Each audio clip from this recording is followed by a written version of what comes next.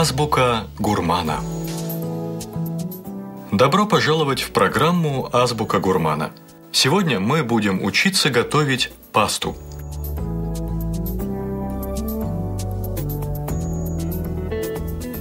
Мы приготовим соус бешамель. Познакомимся с генуэзским песто. Мы правильно очистим и нарежем шампиньоны –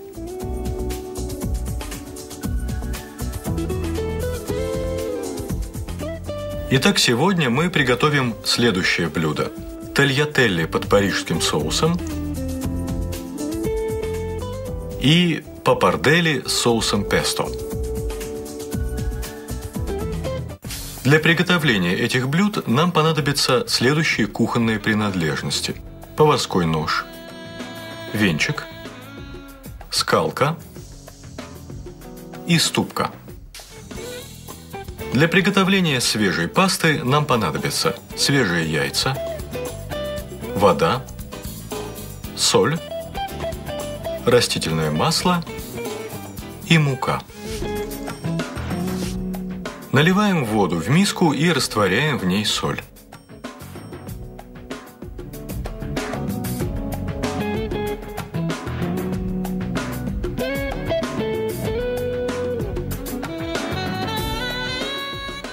Когда соль растворилась, добавляем яйца и как следует размешиваем все венчиком. Если бы мы положили яйца перед солью, соль вряд ли бы хорошо растворилась. В отличие от воды, жирные субстанции не растворяют соль.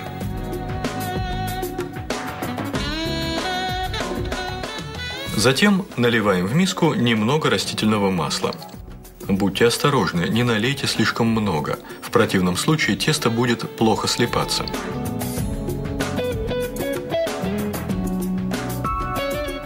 Сразу кладем большое количество муки. Добавлять будем только по мере надобности.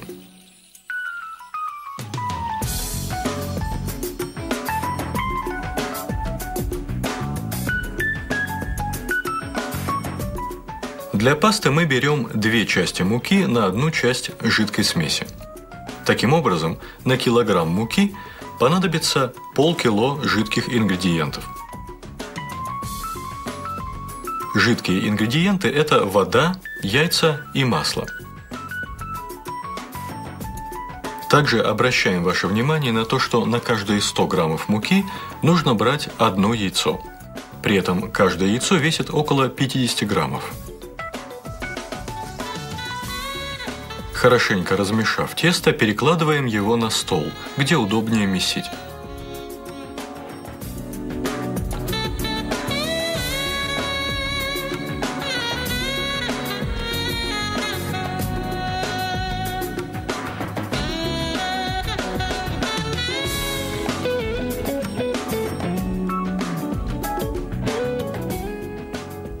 Месить значит сдавливать и растягивать тесто, при этом не разрывая его.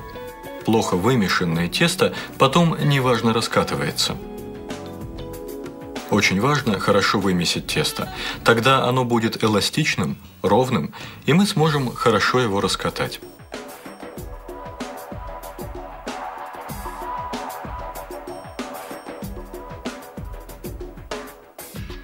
Когда тесто готово, с него не сыплется мука, оно не прилипает к рукам и к столу, а текстура его совершенно однородная.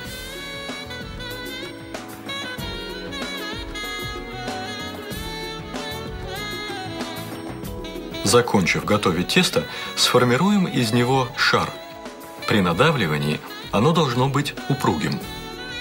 Это значит, что глютен хорошо распределился по всей массе – Тесто вымешано хорошо, и мы можем двигаться дальше. Разрезаем шар посередине. Обе части хорошо отделяются друг от друга из-за высокой эластичности. Внутри мы видим равномерный цвет и пузырьки воздуха. Это еще один признак хорошо выполненной работы. Заворачиваем тесто в пищевую пленку и убираем в холодильник.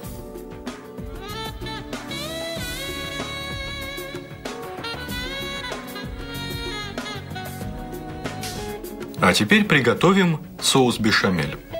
Нам понадобятся следующие ингредиенты. Сливочное масло, мука, молоко, лавровый лист, тимьян, лук и гвоздика. Растапливаем сливочное масло в сковороде на среднем огне.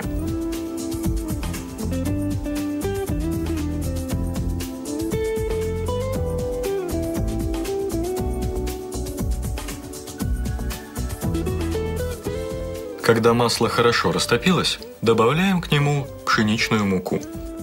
Количество муки должно соответствовать количеству сливочного масла.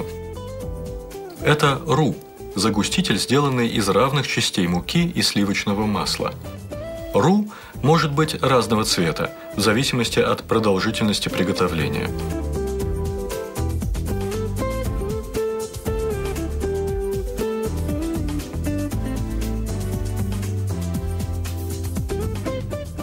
Для соуса бешамель мы готовим основу в течение двух минут. При этом непрерывно помешиваем ее во избежание образования комков. Завершив процесс приготовления, переливаем ру в миску и охлаждаем.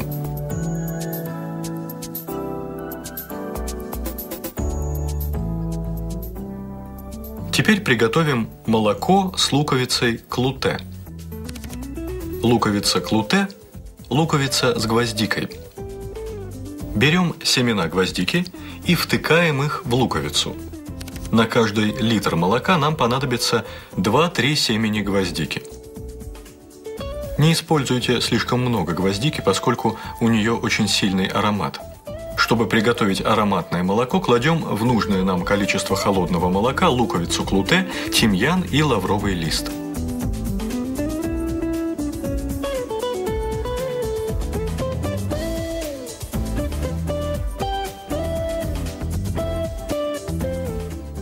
Ставим молоко на огонь, доводим до кипения и сразу снимаем.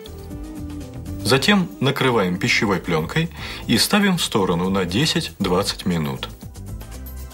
За это время ароматы специй должны хорошо распределиться по молоку. Полученное ароматное молоко выливаем в охлажденную основу. При этом нагревать ру не требуется – Ставим смесь на огонь и доводим до кипения, непрерывно помешивая, чтобы не осталось комков. Позднее, когда соус начнет загустевать, смените венчик лопаточкой. Если все время перемешивать соус венчиком, он начнет разделяться на части. Когда соус закипел, держим его еще 2-3 минуты на огне, после чего добавляем соль и специи –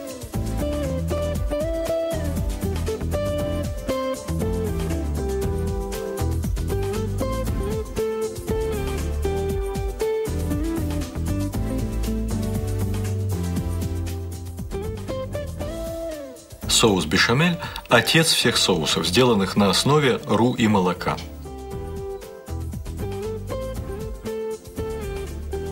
Готовый соус можно хранить некоторое время в холодном месте. Для этого нужно перелить его в миску и накрыть пленкой прямо по поверхности соуса.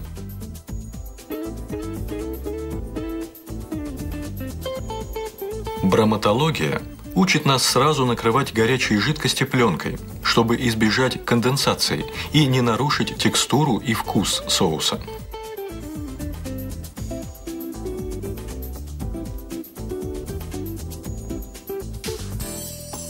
Вот что нам понадобится, чтобы приготовить соус к пасте. Сливочное масло, белое мясо, шампиньоны, вареная ветчина – сливки и соус бешамель. Хорошенько моем шампиньоны, прежде чем начать их готовить.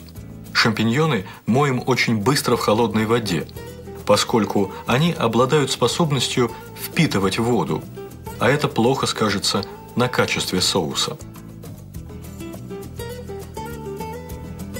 просушив шампиньоны, нарезаем их на 4, 6 или 8 частей, в зависимости от размера грибов.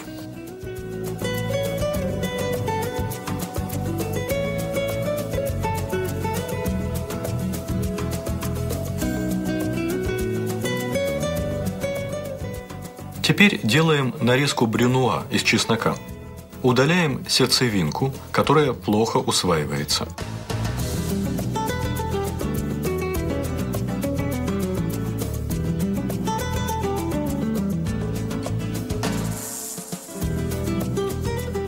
Сперва нарезаем чеснок тонкой соломкой, а затем маленькими кубиками. Это и есть нарезка брюнуа. Ширина каждого кубика не должна быть больше 2 мм.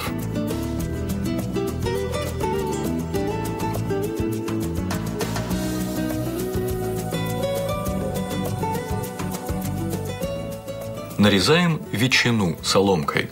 Такой вид нарезки называется жульен. Классический размер соломки 6 см на 1-2 мм.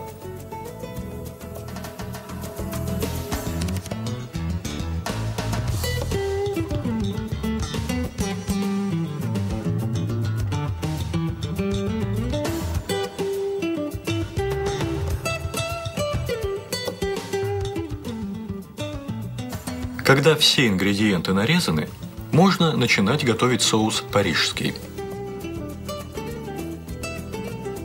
Сначала растапливаем в сковороде сливочное масло. Следите за тем, чтобы огонь был не очень сильным. В противном случае масло подгорит.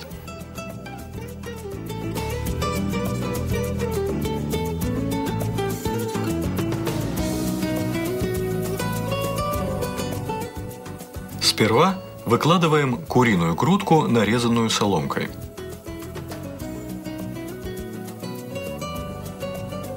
Сатируем мясо на медленном огне всего несколько минут. После чего достаем его и охлаждаем.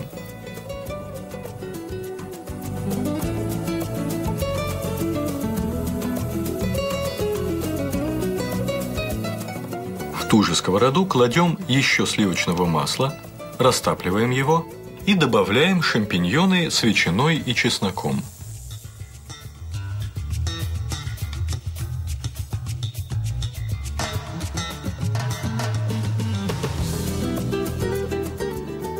Следите за тем, чтобы чеснок не подгорел. Подгоревший чеснок сильно ухудшает вкус блюд.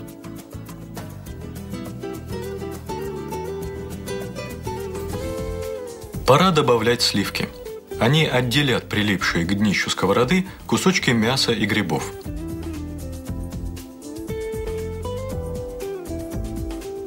Пусть смесь немного упарится, после чего мы добавим соус бешамель, приготовленный чуть раньше.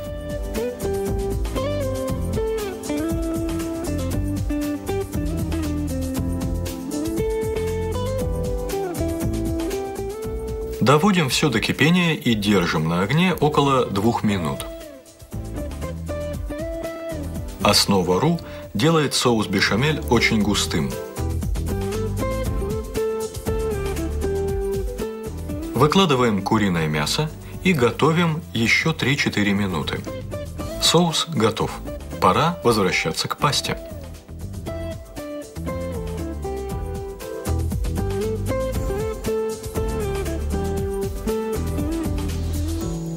Достаем завернутое в пленку тесто из холодильника. Оно стало чуть менее эластичным и очень хорошо растягивается.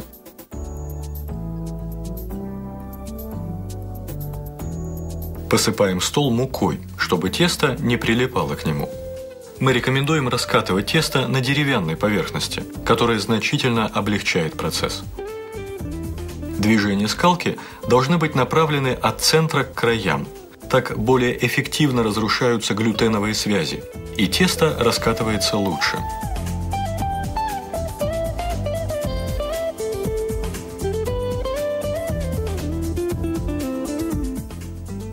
Тесто для пасты нужно раскатать очень тонко, ведь в процессе приготовления паста утолщается –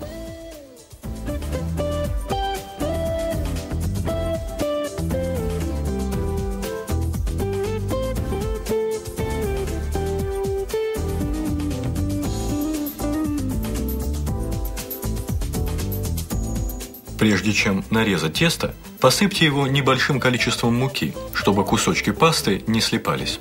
Начинаем нарезать тальятелли. Тальятелли – кусочки пасты шириной 7 мм и длиной 30 см.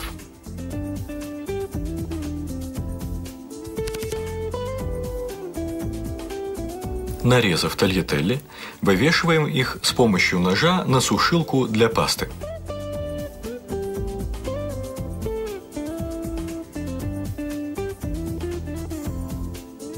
Паста должна хорошо просохнуть, чтобы во время приготовления она не слипалась. Процесс просушки длится 2-3 часа. Отвариваем пасту в кастрюле с большим количеством воды. На каждые 100 граммов пасты берем примерно пол-литра воды.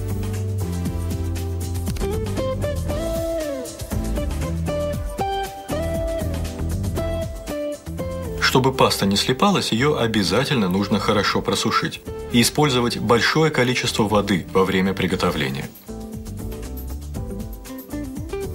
На каждый литр воды кладем примерно 30 граммов соли. Идеальная степень готовности пасты – мольто аль денте, то есть слегка сырая паста. Завершаем готовить пасту непосредственно в соусе, чтобы она впитала в себя его ароматы.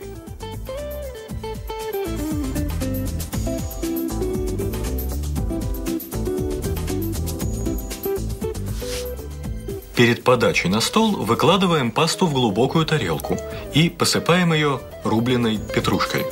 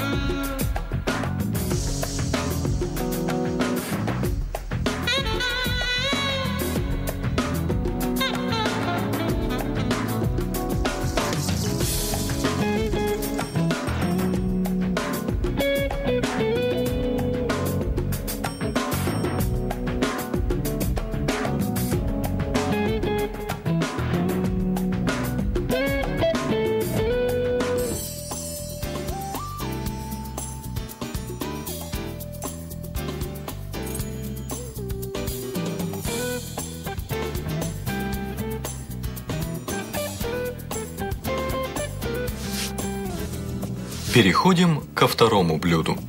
Раскатываем тесто и нарезаем его более широкими полосками, чем раньше. Ширина полос от 3 до 5 сантиметров. Они называются папардели. Вывешиваем полосы на сушилку. Если у вас нет специальной сушилки для пасты, просто оставьте пасту на столе и хорошенько посыпьте ее мукой. Хорошо высушенную пасту можно хранить в полиэтиленовом пакете в холодильнике до трех месяцев.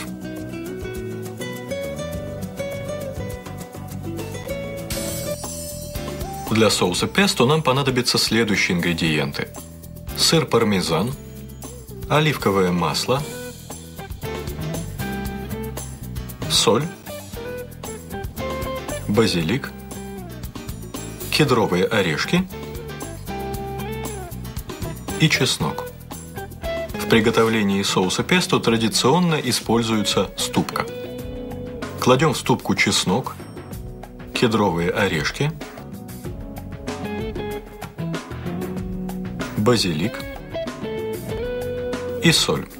Соль поможет быстрее растереть ингредиенты.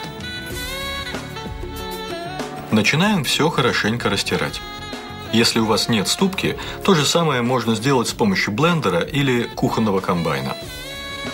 Когда ингредиенты превратятся в однородную пасту и хорошо перемешаются, добавляем оливковое масло и тертый сыр пармезан. Готовый песто можно хранить в небольших бутылях или контейнерах в холодильнике до трех месяцев.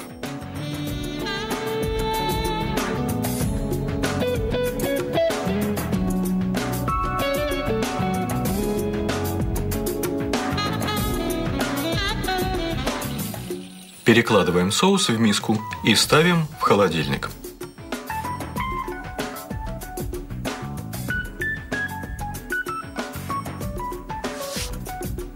Тем временем приготовим папардели. Для этого вскипятим большое количество воды и добавим к ней соль. На каждый литр воды нужно 30 граммов соли. Вновь готовим пасту до степени мольто аль денте. Слово «денте» переводится как «зуб». Это значит, что паста должна быть не разваренной, а плотной.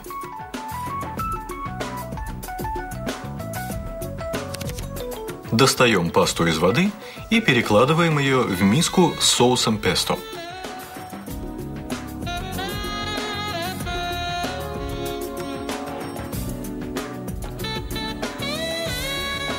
При этом соус не должен быть слишком теплым. В противном случае зелень пожухнет и соус изменит цвет.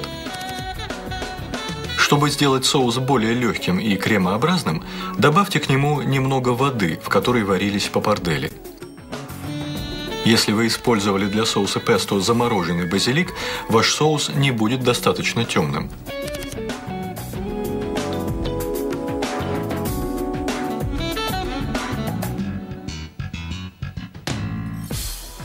Перед подачей на стол выкладываем пасту в глубокую тарелку. Поскольку мы использовали прохладный соус, тарелку лучше согреть.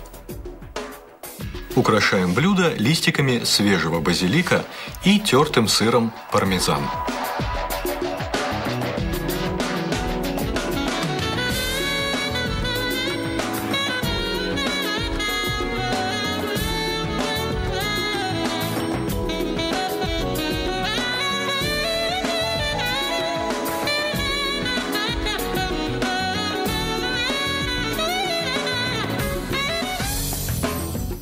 Сегодняшнем выпуске мы научились готовить пасту своими руками. Мы сделали тальятелли и папардели.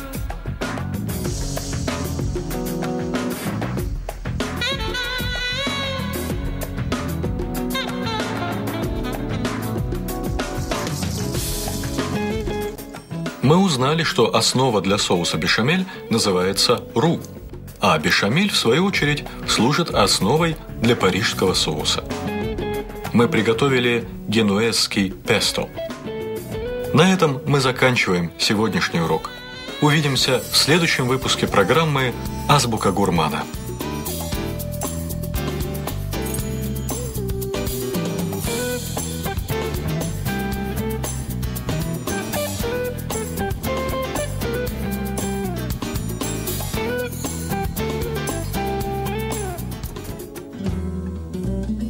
Режиссер Ариэль Табуада, генеральный продюсер Мартин Тейтельбаум, исполнительный продюсер Себастьян Цирюльник, оператор Роберто Урдампилета, производство компании «Промофильм», 2005 год. Фильм переведен и озвучен на производственной базе ТПО «Red Media».